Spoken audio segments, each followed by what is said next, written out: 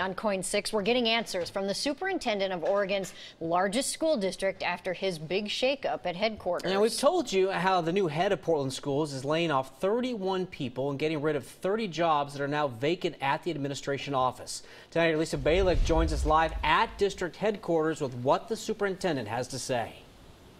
Well, Guadalupe Guerrero tells me he took the job here back in October to, quote, transform the school system. But he also told me today the resources to do that are inadequate. And that is a big reason why the former deputy superintendent of the San Francisco school system says he's made the decisions he did to make the cuts. Now he's here in Portland running a district with over 46,000 students, and he says those cuts are one way to balance the budget. I found out the estimated savings from the central office cuts is about six to seven million dollars. What happens to that money? Does that go back to the classrooms or is that spent on the staff that's still existing? Well, school districts right now are facing either level or modest increases in their budgets, but employee costs are going up, operational costs are going up, PERS costs are going up, and so it's not as if there's a lot of extra money. We actually have to cover those costs.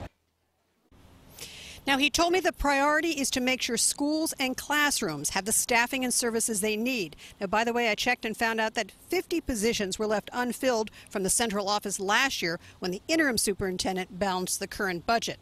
Now, tonight at 5, you'll hear from the superintendent when I ask him whether any of that money that they're saving will go back into the classrooms. That's tonight at 5. Live in North Portland, Lisa Balick, KOIN 6 News. Lisa.